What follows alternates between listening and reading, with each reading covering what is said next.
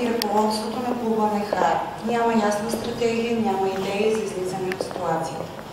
Трансферната политика на клуба е, меко казано, никаква. По отношение на изходящите трансфери има тенденция играчи да получават неустойки за прекратяване на договори по вина на клуба. Същевременно обаче входящите трансфери изглеждат хаотични, липсва каквато и да е стратегия за развитие и резултатите са на лице. Интеграцията на собствения в клуба нямаше никакъв успех през последния сезон, което беше цел номер едно на ръководството. Само месец след като Общински съвет отпусна сума в размер на 200 000 лева, се стига до бойкот на футболисти, провокиран от неизплатени заплати. Гореописаното ме провокира да ви задам следните въпроси.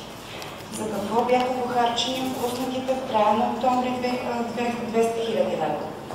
Какви са постъпленията на клуба в сезон 2017-2018 в това число от бюджета на Община Благоевград, от спонсорство, от дарения, от УЕФА, от БФС? Колко са приходите на клуба за сезон 2017-2018 в това число?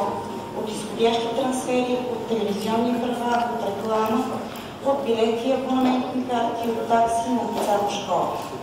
Колко от тези пари са похарчени за детско-юношеската школа и колко за мъжки отбор? Какви са задълженията на клуба към настоящия момент? Има ли клуба задължения към НАП, фирми, физически лица, заеми? Колко са футболистите прекратили договорите си по вина на клуба и кои са те?